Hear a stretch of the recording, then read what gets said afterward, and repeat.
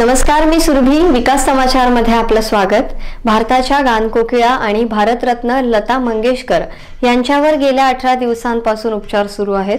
शनिवारी आठ जानेवारी रोजी त्यांना कोरोना आणि न्यूमोनियाची लागण झाल्याने मुंबईच्या ब्रिज कॅन्डी रुग्णालयात दाखल करण्यात आलंय. सध्या त्यांच्यावर उपचार सुरू असून त्यांना आयसीयूमध्ये ठेवण्यात आलं आहे. त्यांच्या प्रकृतीमध्ये सुधारणा व्हावी यासाठी देशभरातून प्रार्थना केल्या जात आहे असं असतानाच अयोध्येमध्ये महामृत्यूजय मंत्राचा जाप करण्यात येतोय.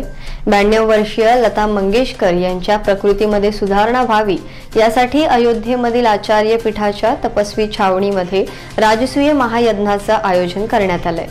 लता मंगेशकर यांना चांगलं आरोग्य लाभावं यासाठी महामृत्युंजय आणि संकटमोचन हनुमानाच्या मंत्राचा जप करण्यात आला आहे.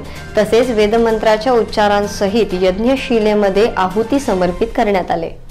लता मंगेशकर यांच्यावर उपचार करणारे डॉक्टर प्रतीत समदानी यांनी दोन दिवसांपूर्वी दिलेल्या माहितीनुसार लता मंगेशकर यांच्या प्रकृतीमध्ये सुधारणा होत आहेत. लता दिदींची प्रकृती कालपासून सुधारत आहे.